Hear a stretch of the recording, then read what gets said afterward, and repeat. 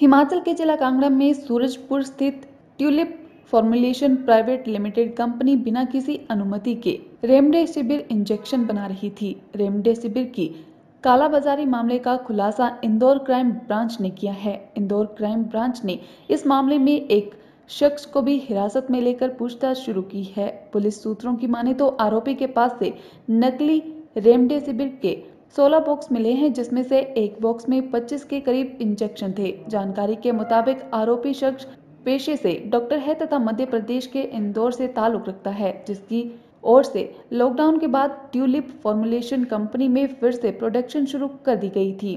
और इसी बीच साल 2020 के दिसंबर माह में यहाँ रेमडेसिविर इंजेक्शन बनाने के लिए बकायदा धर्मशाला स्थित असिस्टेंट ड्रग कंट्रोलर और लाइसेंस अथॉरिटी आशीष रैना के पास आकर अनुमति भी मांगी गई थी, जिसके लिए बकायदा आरोपी शख्स द्वारा कंपनी के मैनेजर पिंटू कुमार को उसके पास भेजा गया था, मगर इन्हें इंजेक्शन की प्रोडक्शन करने की परमिशन नहीं मिली, जिसके बाद कंपनी अपने प्लॉट में कानूनी तौर पर पेंटाजोल टैबलेट्स का ही उत्पादन कर रही थी।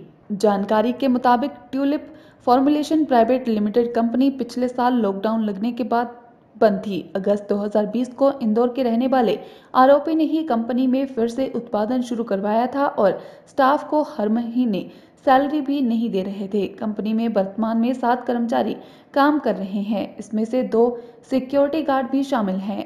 इस पूरे मसले को लेकर assistant drug controller Dharamshala Ashish Raina से इस बाबत बातचीत करनी चाहिए तो उनके धर्मशाला स्थित कार्यालय में ताला लटका हुआ था, जबकि उनका मोबाइल फ़ोन लगातार स्विच ऑफ़ आ रहा था। तो वहीं सूत्रों से मिली जानकारी के मुताबिक इस घटना के बाद assistant drug controller Dharamshala Ashish Raina अपने सहयोगी इंस्पेक्टर प्यारचंद के साथ मौके पर पहुँचे हुए थे और वहाँ उन्होंने गहनता से छानबीन करने पर पाया कि सूरजपुर स्थित Tulip Formulation Private Limited company को रेमडेसिविर इंजेक्शन बनाने की अनुमति तो नहीं है, किंतु इन्हें बनाते वक्त किसी विशेषज्ञ का होना ज़रूरी है, अतः ये इंजेक्शन बिना विशेषज्ञ की उपस्थिति में ही बना दिए गए। उन्होंने नूरपुर के ड्रग इंस्पेक्टर प्यारचंद को मामले की जाँच करने के आदेश दिए थे, अतः अब मामले की जाँच पूर्ण करके फैक्ट्री में उत्पादन बनाने पर प्रतिबंध लगा दिया है। साथ ही किसी भी कर्मचारी को अंदर आने की